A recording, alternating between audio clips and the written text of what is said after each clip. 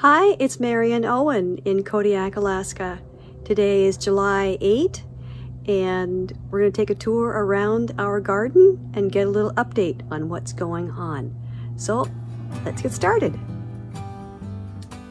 First of all, here are three bumblebee houses and two out of three are occupied and the left one is occupied by bumblebees the middle one by Yellow Jackets. I wasn't quite sure if I wanted to keep those guys. You can see them flying around there. Yeah, well, they got a paper nest in there, I'm sure. And they are, after all, pollinators. So, hmm, that's just the way it goes. I'll let them be neighbors for now. So let's take a look over here. This is one of my favorite areas of the garden. And, oh, by the way, let's see how. We got some buckets here of stuff. Stuff for the compost piles. Yes, indeed. One, two, that's insulation for the next one to start up here. And this one is an active compost pile. Yep, and there's my buddy, Compost Cowboy. And let's try and read this thermometer. Yep, it's 140 degrees and I am excited. Compost Cowboy, I found him in a kelp patch on the beach while I was collecting goodies for the compost pile. So here we go. We're gonna walk by the wood piles, get ready for the winter Everybody needs a life buoy. And here we have, whoops, sorry about that. Some foxglove. And that's an octopus pot. And I've got sweet peas growing in there. And here's some comfrey. Red currant the bees love comfrey. Oh my goodness. All right. Oh, something special. Here are blue poppies, Himalayan blue poppies. And one of the reasons why I wanted to shoot this right now is because the wind is starting up and it's probably going to strip off a few of those petals. But oh, I love these guys. Yep. They're a cool climate poppy. Not a true poppy, it's a Meconopsis and it's a Tibetan poppy. So if you live in a warm climate, you probably won't be able to grow them. I'm sorry.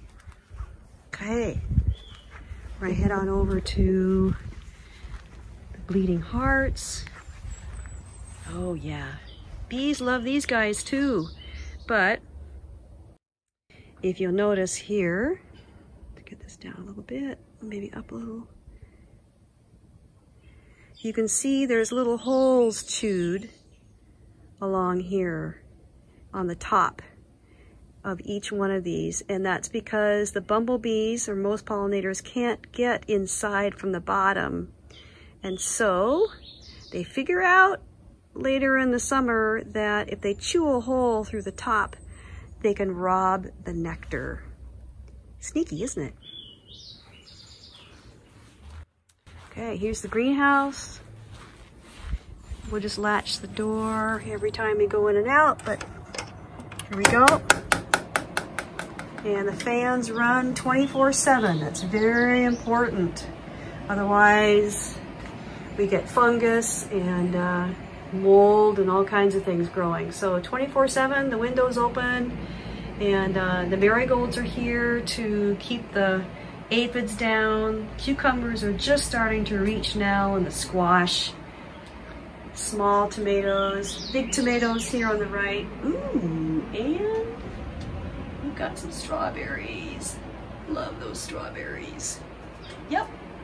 And that's the ocean you see there. Sometimes the whales even surface right in front. Yep. Okay, give this another latch.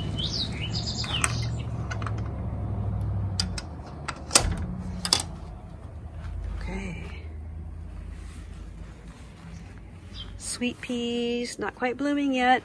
Now here's something quite rare. This is a white Meconopsis, like a white Himalayan poppy or blue poppy, so to speak. But yep, it's quite lovely. It's so fun. They don't last very long, but it's great to have them around. And soon we'll have these snapdragons blooming. Yep. And poppies. Gladiolas with stakes. Purple coneflower, which is pretty rare to be able to grow this in Alaska, well, especially coastal Alaska. And we have onions. I'm just covering them up for this rain squall that's coming so they don't get too saturated. And you can see I've got it covered with plastic. This is a special reinforced plastic over a three quarter inch PVC hoop. And um, the hoops stay up year round and then we just cover it with a variety of materials depending on if we want web to keep the birds out or plastic to keep the snow and rain out. And then, um, and I clip them to the PVC pipe with these two inch um, giant paper clips and they work great. And uh, here's salmon berries that are starting to form fruit. Um, give you a shot of the ocean here. Yeah. Oars. Everybody needs oars in their garden, right? Yep. American flag. So we're gonna take a, a little walk down these steps. Comes a boat. By the way, here's my one of my favorite flowers. These are Iceland poppies. And you see that sign down there? It says Banya. Banya is it's a sauna, That's what it is.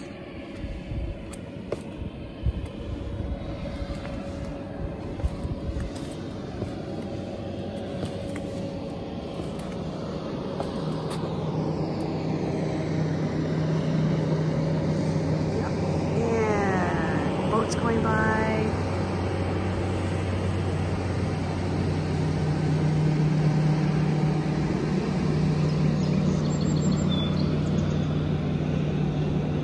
More comfrey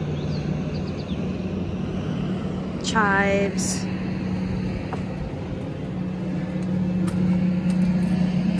Potatoes. Potatoes in halibut tubs. These are commercial, very sturdy pots that they use for halibut fishing. And uh, then down along here is where they put their uh, fish hooks. And then they have long lines. And um, have tubs down here at the entrance to our sauna.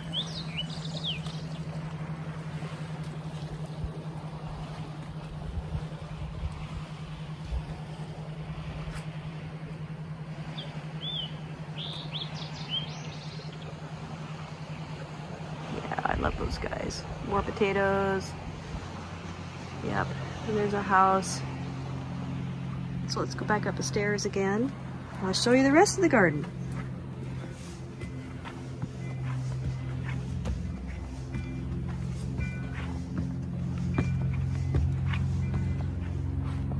Garlic. So pretty soon I'll be checking, well, it looks like I've got, see, I've got scapes starting to show. So I will pinch these scapes off the flower stalks about right here and then um, gather them up and I'll make some lovely pesto out of those. And now you might laugh. This bed here is covered with plastic I know. It's zucchini. And we just can't grow zucchini outdoors here, so to speak. So we keep it covered. And it's pretty happy. It's really starting to bloom now. But the zucchini here just needs a little extra help from the coolness and the rain and stuff. So, but it works.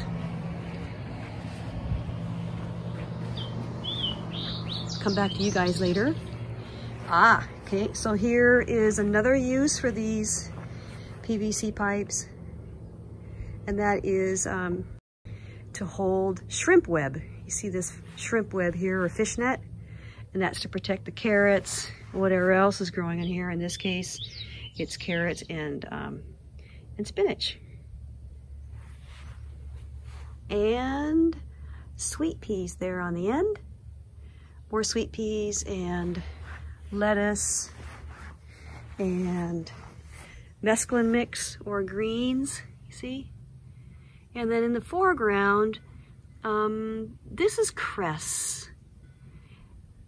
The variety is wrinkled, crinkled, crumpled cress. But cress has been shown now to be even more nutritious than kale. It's pretty peppery, but it's also really, really yummy. And there's our mesclun mix and lettuce, broccoli and kale. And this is a newly planted batch of some greens here. And they are covered up. These are commercial fishing. These are egg trays, so to speak. And I just have them covered because it's just a small area. Instead of using the fish net, I'm just using these trays to protect them from direct sun and little birdies. Yep. Rhododendrons that are done blooming. Okay. Uh, we got snap peas and rhododendrons that are done. Okay, more blue poppies. Yeah. Aren't they lovely? I just love these guys. Yep. Blue poppies. So I just wanted to show you the blue poppies because they won't be here forever. It's a very, well, a couple weeks.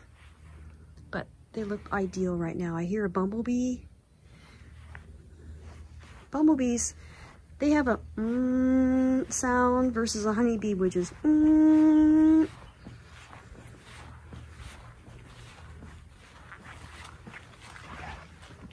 Okay, that's done blooming. Ah, okay, another octopus pot. And my little bookshelves on the fence, so to speak. I Put little treasures in there. Rhododendron. This is a blue Peter rhododendron that my dad used to love. Here's more blue poppies. And these are kind of a special plant. This is a primrose. This is a kind of primrose you can see. See the three tiers or whorls? I call it my Dr. Seuss plant. That's a rhododendron. I was trying to catch a bumblebee. The rhubarb patch is all but done be being picked. So all done with that. A few foxgloves snuck in there, I know. Oh, hi Daisy. This is Daisy the dragon. Um, she steams from our boiler, which is kind of fun. We have a PVC pipe coming out from our boiler, so I thought I'd decorate it up with a a mosaic here. So we have Daisy the Dragon.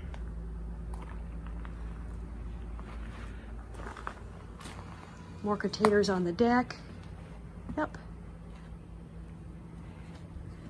And everybody needs hands and feet in their garden, right? Woohoo! This is another very special primrose, a favorite of mine. Check that out. Isn't that cool? These rockets? Woo, fun. And everybody needs a ladybug. All right, let's go visit the hoop house. On the way, we'll check out how the lettuce is doing in the repurposed rain gutters. Yep. There's the hoop house. We'll get into that in a minute. Um, Here are the plantings, the planter boxes, and uh, my experiment with putting sweet peas in hanging baskets. They're supposed to be, um, there's supposed to be a sweet pea that's only knee-high, but I think I got the seed packets mixed up because they are trailing like they're giant ones. Right. And raised beds, which are gonna have gladiolas and a variety of poppies in there. So let's open up the hoop house. Don't laugh. It sounds like there's a, a, a sheep in here because of the groaning fan. But so this is a second crop of things in here. We've got um, tomatoes, we've got uh, beans on the right, and uh, more carrots planted, beets, and uh, beans on the left, more marigolds to keep the aphids out. And we've got compost tea right there. So bye, squeaky fan. We'll talk to you later.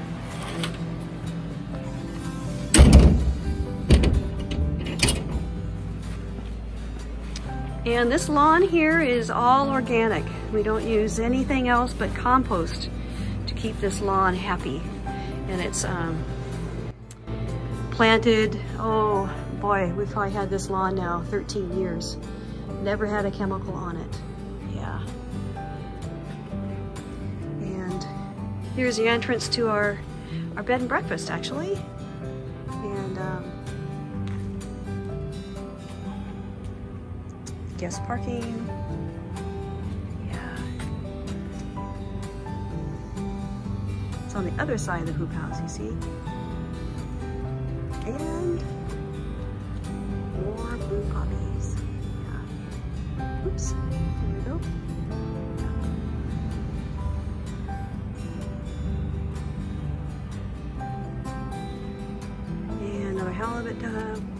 Excuse me, um, octopus pot.